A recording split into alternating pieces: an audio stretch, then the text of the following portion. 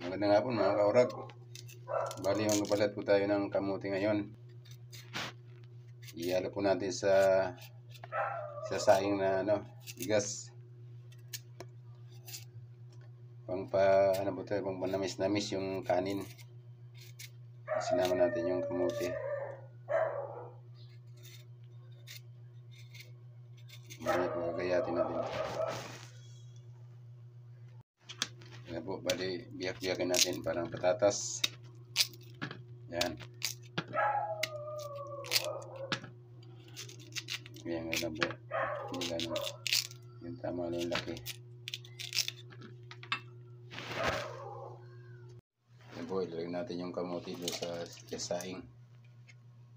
Yan. Sama natin sa sinaing. Yan, salang natin siya.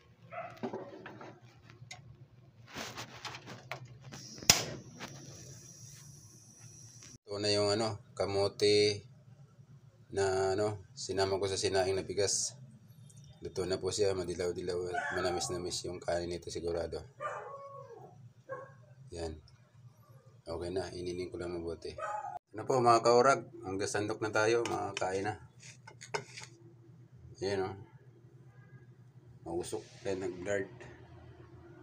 Mausok yung singaw. Ayan po siya o. Gold, rice with gold. Rice with Ayan po mga kaurag, magsandok na po tayo para makakain na yan. Manamis-namis.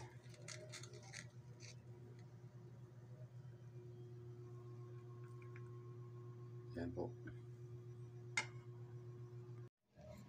Yan po, luto na yung ano natin. Kakain na po tayo. Yung Tira ko pa kaninang gulay. So, yun po. Kung nagustuhan nyo po yung sinaing ko with kamote, paki-subscribe naman po ng ano para madagdag, madagdagan naman po yung ano ko, subscriber.